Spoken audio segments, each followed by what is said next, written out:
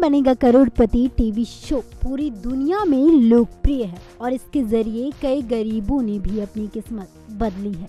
ये popular show है, लेकिन क्या आपको पता है कि भारत के खिलाफ नई नई साजिशों में जुटा पाकिस्तान अब इसी शो को अपना हथियार बनाकर भारतीय सुरक्षा एजेंसियों से जुड़े लोगों को निशाना बना रहा है।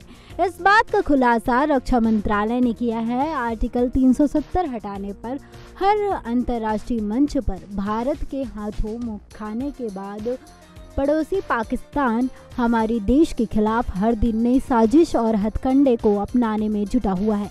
रक्षा मंत्रालय के मुताबिक पाकिस्तान आधारित सोशल मीडिया हैंडल के ज़रिए अमिताभ बच्चन के नाम पर कौन बनेगा करोड़पति टीम के रूप में खुद को प्रचारित कर भारत में गलत सूचनाओं का प्रसार कर रहे हैं। तो वही इस मामले में रक्षा मंत्रालय ने एक दिशा निर्देश जारी किया है, जिसमें बताया गया है कि पाकिस्तान का साइबर सेल टीवी शो कौन बनेगा करोड़पति की लोकप्रियता का लाभ उठाते हुए व्यक्तियों को व्हाट्सएप ग्रुप में शामिल कर रहे हैं और नकली केबीसी संदेश भेजकर लोगों को फंसा रहे हैं।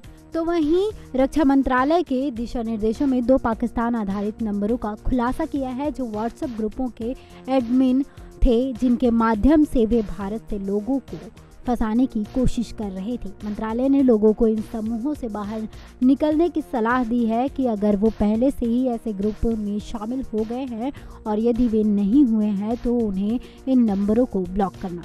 साइबर सेल ने लोगों को अपनी व्हाट्सएप सेटिंग्स को इस तरह से कॉन्फ़िगर करने की सलाह दी है कि केवल एक व्यक्ति जिसके संपर्क विवरण आपके फ़ोन में सहेजे गए हैं, वो आपको निमंत्रण के बिना जोड़ सकता है। साइबर सेल ने सोशल मीडिया पर सेवारत और सेवानिवृत्त अधिकारियों सहित सैन्य अधिकारियों के 200 से अधिक नकली हैंडल पाए थे, जिसके ज़रिए कश्मीर मुद्दे पर पाकिस्तानी ट्वीट और संदेश फैला रहे थे। इस तरह से आपको बता दें कि आपको सजग रहने की ज़रूरत है और अगर आपके पास केबीसी की तरफ़ से कोई मैसेज आए तो सबसे पहले तो आप सावधान हो जाइए और जब तक इस बात की पूरी तरह से पुष्टि ना हो, तब तक आप इस बात को बिल्कुल भी ना मानें। एस पी न्यूज़ रूम से श्रुतिक रिपोर्ट।